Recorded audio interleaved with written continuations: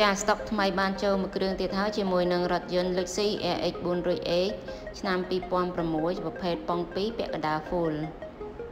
ចាចំពោះពុកម៉ែបងប្អូនចាប់អារម្មណ៍អាចអញ្ជើញទស្សនាវីដេអូអំពីរថយន្តមួយនេះឬមួយក៏ពុកម៉ែបងប្អូនអាចអញ្ជើញមកមើលរថយន្តផ្ទាល់បាននៅឃ្លាំងនាងខ្ញុំ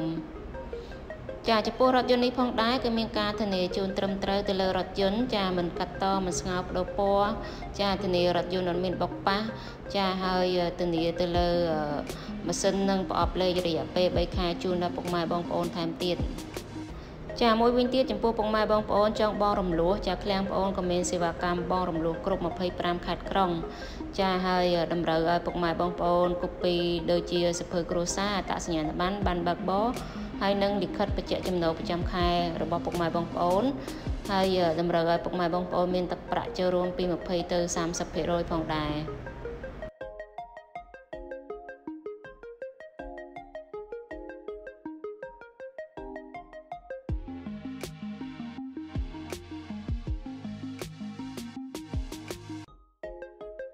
ចាហើយបងអូនក៏សូមអរគុណដល់ពុកម៉ែបងប្អូនដែលតាមដានទស្សនានៅវីដេអូមួយនេះហើយក៏អរគុណដល់អតិថិជនទាំងអស់ដែលជួយគ្រប់គ្រងពីឃ្លាំងបងអូន ចាហើយបងអូនក៏សូមអរកាយគ្រប់លាតែត្រឹមប៉ុណ្ណេះចាជួបគ្នានៅវីដេអូក្រោយទៀត